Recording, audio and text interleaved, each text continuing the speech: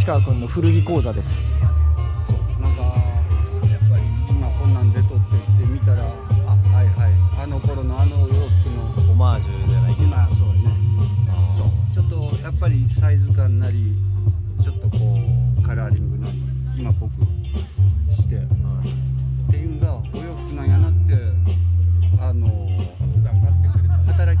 思いました。あのセレクトショップ入ってね、はい。奥深い新品のお洋服を、まあ、企画とかした時期もあって。市川君ビームスで働いてましたから。えー、すごい。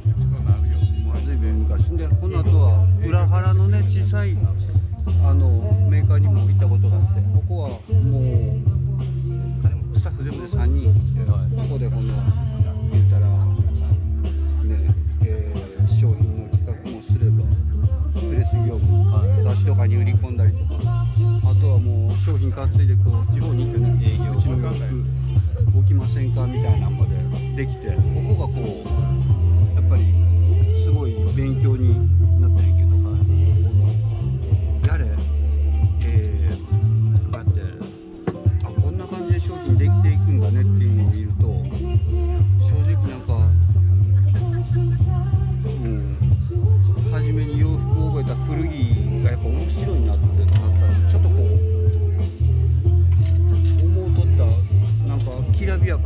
な世界の裏側を見たら。ああなるほど。うん、こんな感じなんだねって結構ねショック受けるところはありました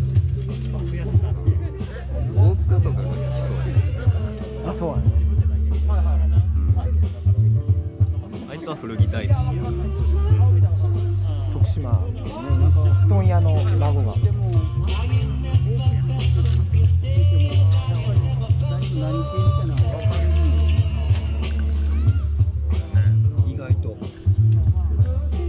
多様化しとって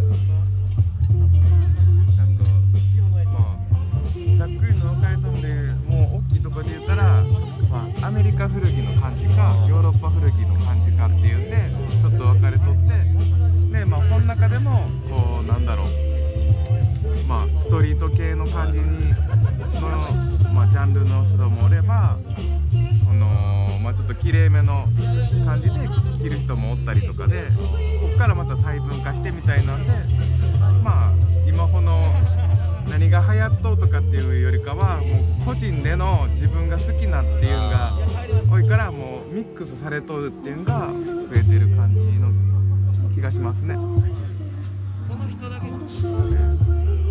ード系なんていうのもね。ああもうあるしね奥村さんやっぱ最新の流行に出たいんで。うんいや僕も好きなブランドのやつを着てるだけ好き。で、僕もブランド好きなんでね、あの古着も買いた買買ってたんですけどブランドものもずっと買ってた人間なんですよ。だから古着売ってますけどあのセレクトショップで働いとったんであそうですね好きなブランドをこのこの世界観が好きで買ってるやつもあればもう物単体で買ってるもあったんですけどあのねなんかあれですよねこのなんだろうよく聞くとかだったらギャルソンとかあー幼児山本とかってなんかこうこのそうやねこの世界観みたいなの作っとってそういう風な感じのに着こなしたいってなったらもうここばっかり買ってしまうようにもなってたんで。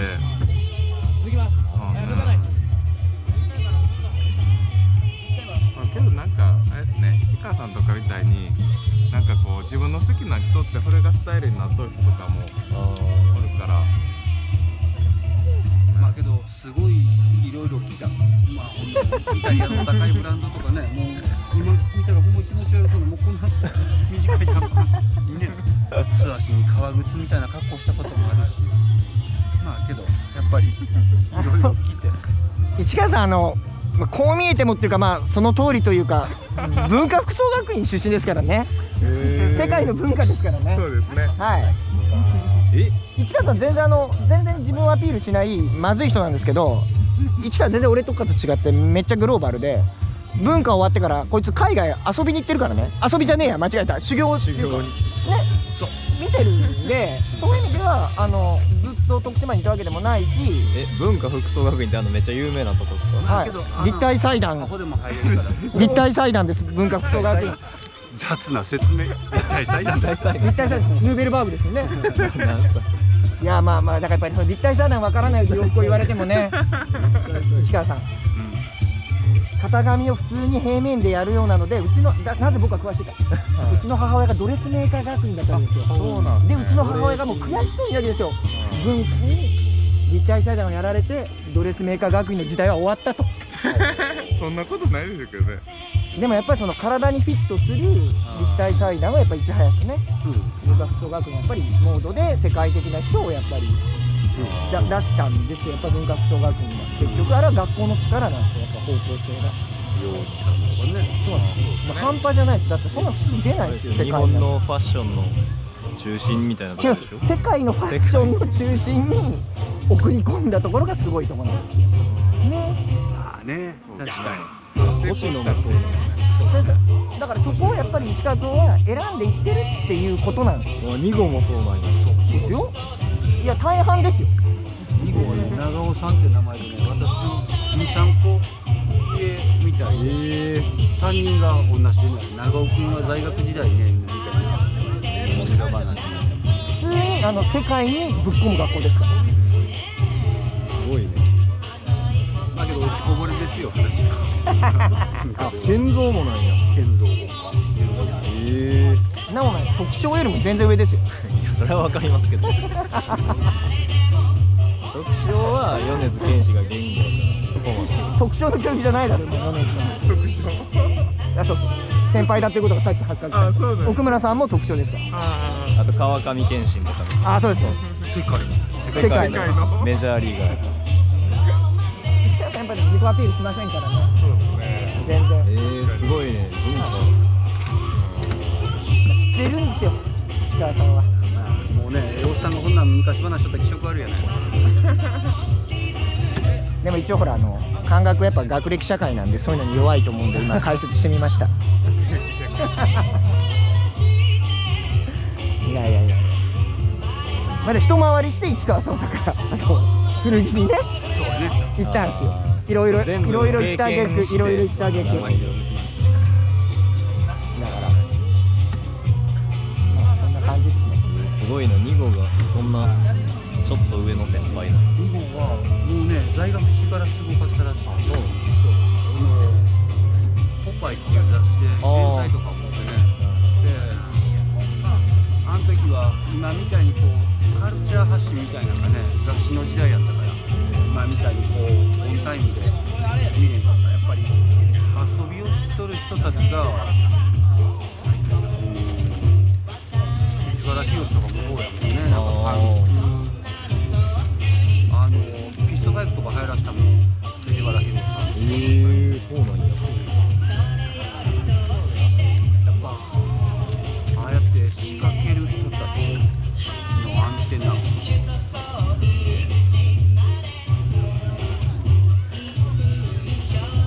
八重洲近くも徳島でやっぱ仕掛けてます大丈夫。で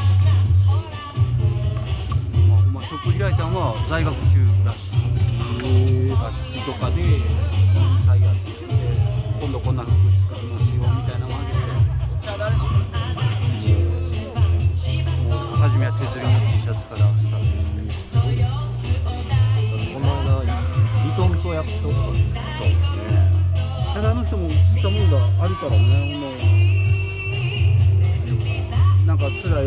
い思いもしとる自分のブランドがいっぱいおしゃれね他の香港の会社だったかな。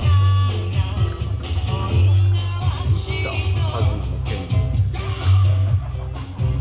まあグローバル企業的になるとね買収とかそういうのがやっぱあるから大変なんですけど陶器の対象になるんですけど。